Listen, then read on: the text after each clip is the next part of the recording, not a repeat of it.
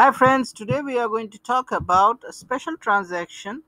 Everyone uses SPRO, especially the functional consultant uses SPRO. But there is a special transaction only built for purchasing uh, related with SPRO. So you don't need to go through, let me talk about what I'm talking about. So if I go to SPRO and I have to go through all this clicking, but if you want to do less click as a purchasing person, or as a functional person you can just type in olme and that's it. You see you can see all the things related with purchasing from here.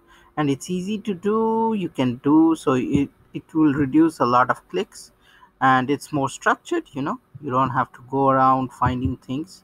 So it's really it's really useful and uh, probably there are more stuffs here because i can see there is stuffs like BAdIs are all uh, scoped out so you can find all the BAdIs that you can think of. Really nice. I really nice like this place because it just let me just go to spro and let me see whether there is things there for purchasing.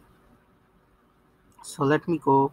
So if i go to purchasing what i have to go is i have to go to materials management which is here I go to purchasing and here I have all the BAdIs.